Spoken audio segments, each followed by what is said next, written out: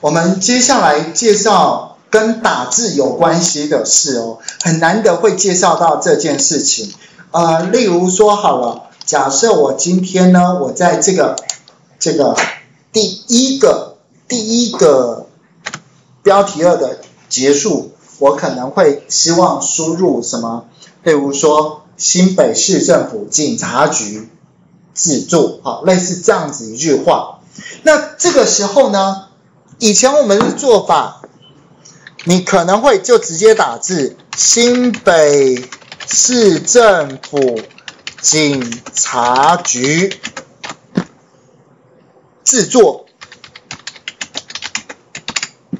那请问一下哦，这个字，我想哦，在座的各位，你应该可能会经常使用到。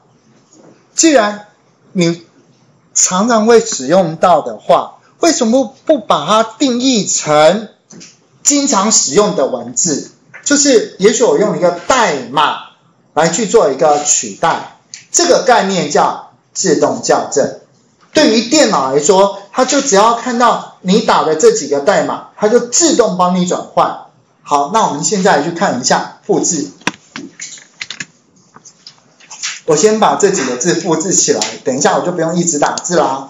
例如说，在这个地方，怎么样去设定这个自动校定呢？自动校正，第一，点选档案。那你一定会问，奇怪了，我设定这个校正，校正的意思，它可应该可以理解。可是为什么会放在档案？因为它是放在选项里面，因为大家可能会针对你。经常使用到的，跟我经常使用到是不一样的。可是这件事情大家可能都需要使用，所以它变成放在选项里面。点选档案底下的选项，在校定这地方，校定。点选校定之后，再点选什么？自动校正选项。自动校正选项这边有取代跟成为，例如说我就直接输入 NTPD，成为什么呢？新北市政府警察局。请问这时候要按什么键？新增再按确定哦，因为最多同学每次都跟我讲说，老师，我的电脑有问题。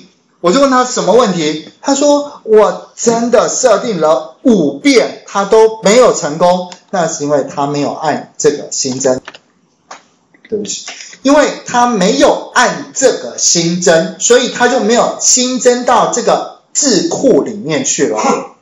点选新增，点选新增之后再按确定，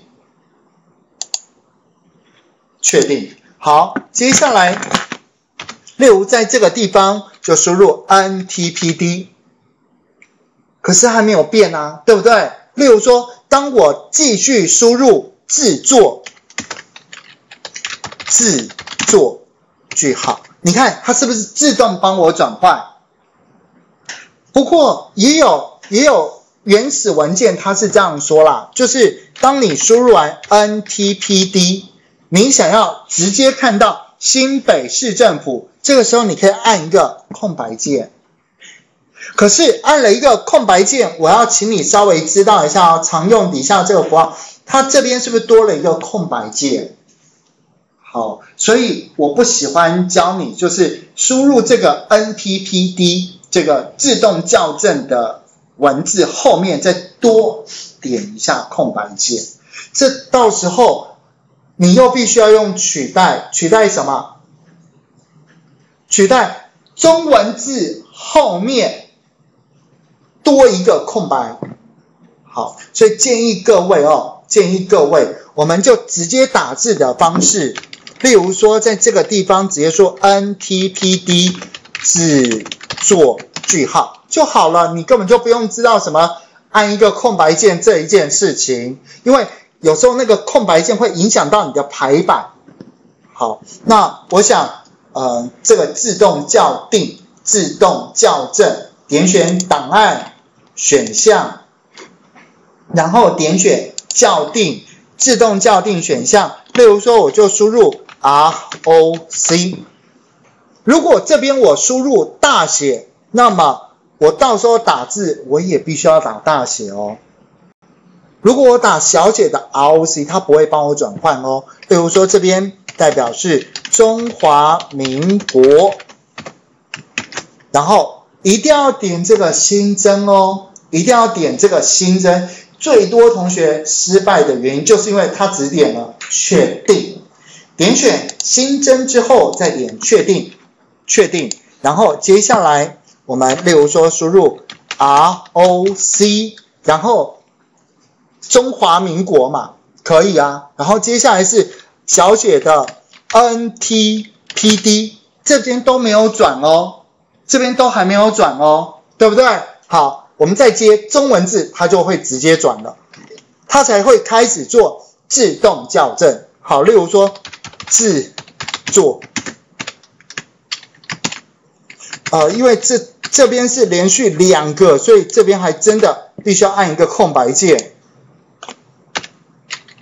NTPD 空白键，好，因为是连续两个，如果只有一个，你可以直接去产生出来，换你去动手玩一下喽。记住哦，记住，我最后要强调讲，ROC 空白键它不会帮我转，因为我刚刚是设定大写的 ROC，不是小写的 ROC。好，请你们现在动手做一下。自动校正。